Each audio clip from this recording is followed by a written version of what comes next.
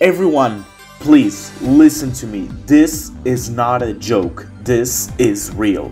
Hey everyone, welcome to Sonic Station. And today I have an epic piece of news to share with you all.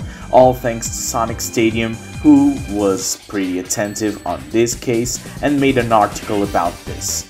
This is pure reality, so listen to me. Sonic Mania is going to come out on mobile devices in 2024.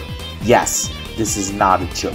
In fact, this might be a bit complicated to process, but I'm going to explain the best I can thanks to the help of Sonic Stadium, link to his article in the description down below. So Netflix has announced a gaming service that's going to debut, if I'm not mistaken, in 2024 called Netflix Games and by accident they actually leaked the trailer to it.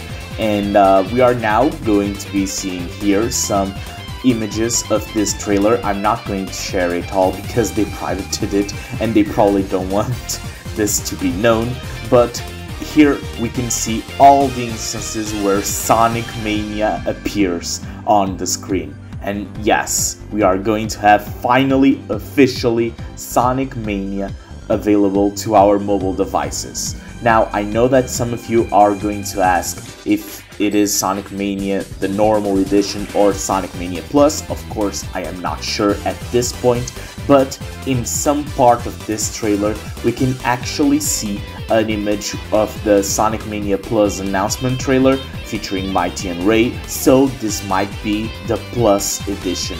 Of course, Netflix Games is going to be a subscription service, we already know this, just like the normal Netflix service. But hey, Sonic Mania or Sonic Mania Plus is going to come out to mobile devices. So what do you think about this? As a Sonic Mania enthusiast, I had to share this piece of news with you all, and so here, now you know, Sonic Mania is going to come out on mobile in 2024 officially.